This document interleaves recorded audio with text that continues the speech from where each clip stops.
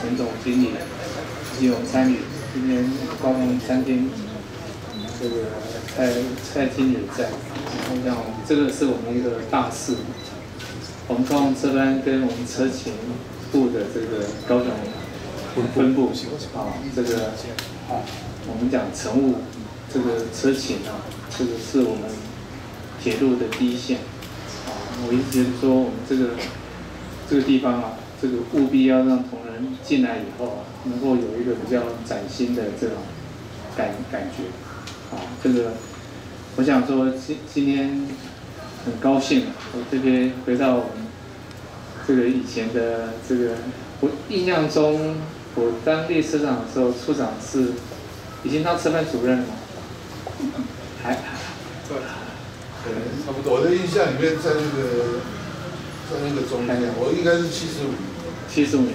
啊，对对对，他这个我们余处长接这个这个车班主任的时候，我已经到高雄港当副站长，好，那时候已经到高雄港副站长。那我为什么是还不到一年我就写报告，我不要当列车长？因为我那时候啊，那时候领班不怎么守规矩，所以我常常开他的电报，还有就长说这个赶快要离开这个列车长的工作。可是我事后想起来，其实让我这个这个第一个工作就是列车长。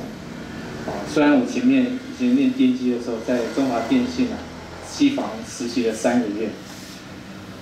哎，但是我一直觉得我第一份工作啊是是回到我们台铁当地上的工作。然后，那个列车长的工作其实跟这个一般的这个工作不太一样。啊，那其实是它是一个 team。他必须要跟机班、跟我们的这个参与啊一起合作啊，所以